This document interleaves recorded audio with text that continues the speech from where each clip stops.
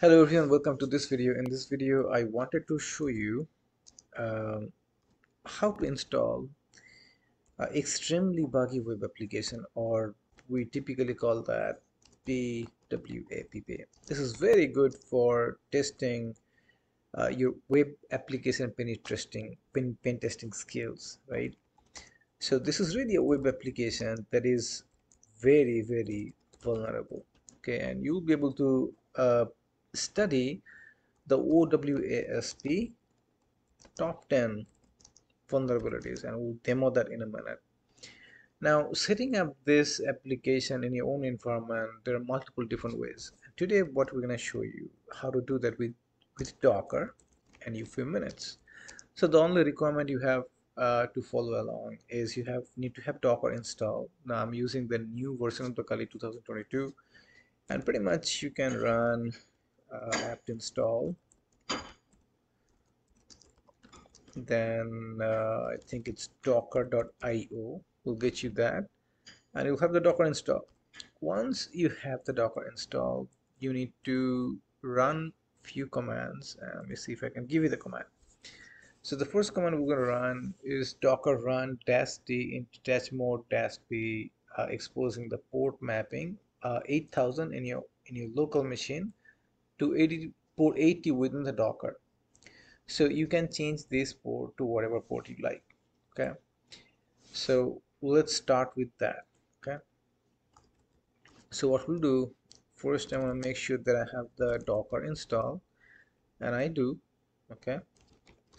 So since I have the docker installed and I can just go and run this command okay so this command is going to go to the docker hub to this repository and thank you raesene for making this container available to everyone. And we're going to say enter.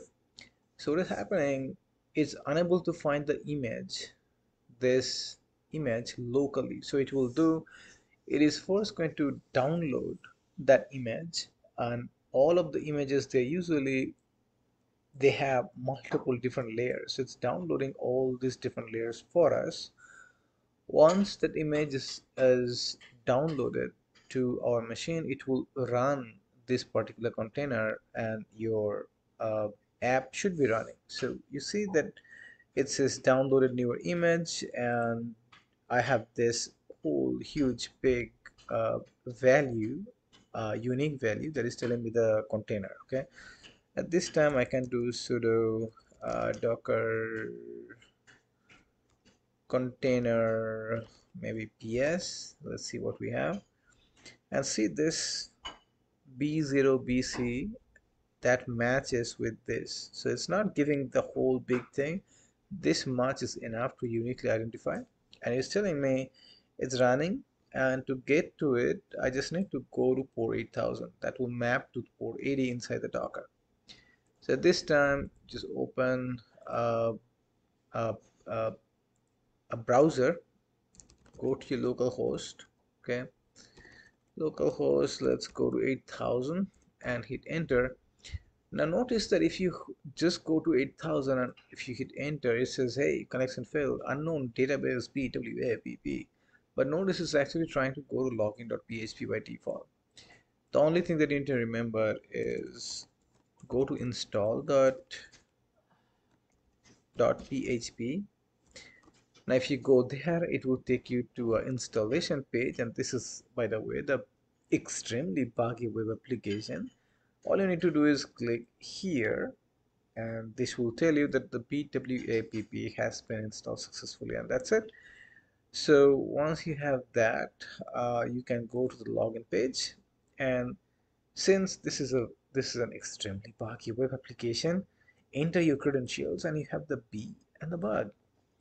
So you can do b and then bug. And uh, when you're starting and you want to see a lot of vulnerabilities that are easily exploitable keep your security level to low okay? And then hit login okay?